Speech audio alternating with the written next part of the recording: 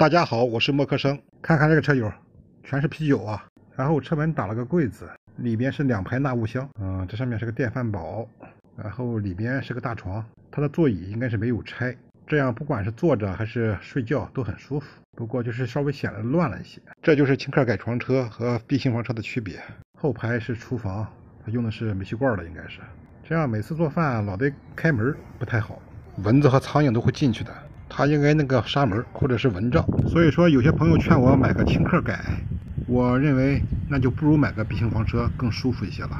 因为不管你怎么改，也不如人家设计的好，而且改装还不少花钱，算下来成本和 B 型房车差不多了，但是舒适度差远了。啊，现在天亮了真早，早上来海边逛逛真舒服啊，也没什么人，但是还有船出海哎，这不知道是干什么去的，可能是去前面那个岛吧。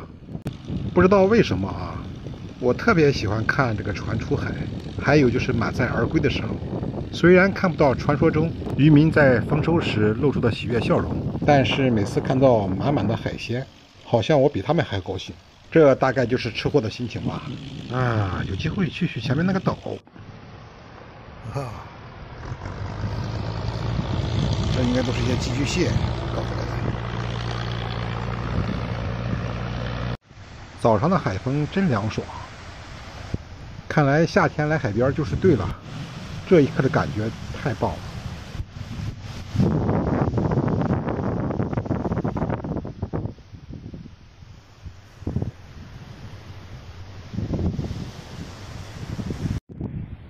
它这秋千是活的，一不小心就跌倒了。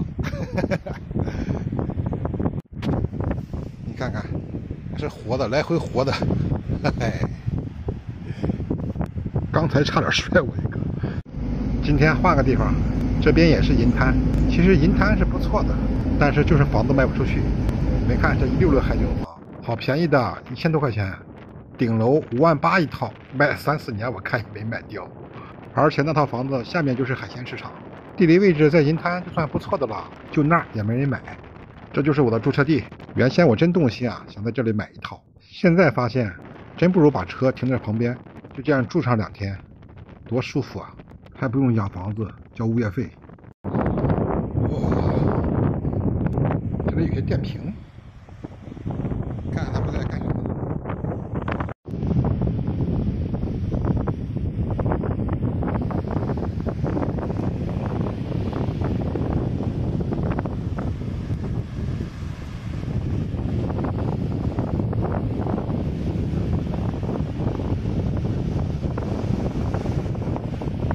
问一下这是干什么？干什么用的？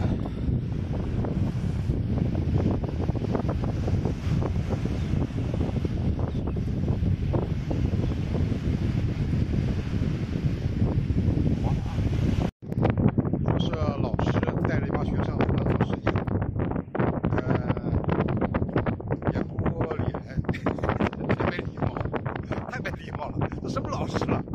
哎呀，能教出好学生来吗？那这夫妻俩还问我啊，干什么呢？我说我是挺谦虚的去问他们了，人家都不理你，他俩笑了，也走了。呃，在海边住车还是舒服啊，坐在车里边就能看到海景，这感觉要比那呃大拇指广场那边要好。大拇指广场嘛，前面都是一些树啊，一些什么的都全挡住了，什么也看不见海。你要想看海的话，到海边的话，你得走过去，这个就不这个就不用。哎，你看了吗？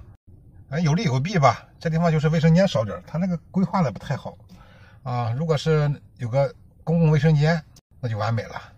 这一片都是刚新修的，这些栅栏、这些这些东西哈，都刚新修的。我上次来了，去年来的时候还没有。去年光有这个停车场。我去年打算从这儿驻车的，后来一问没有卫生间，就算了。但是这个地方早上起来有什么呢？就卖那个海鲜的，稍微往前面一点啊，他们有自己下下海摸的。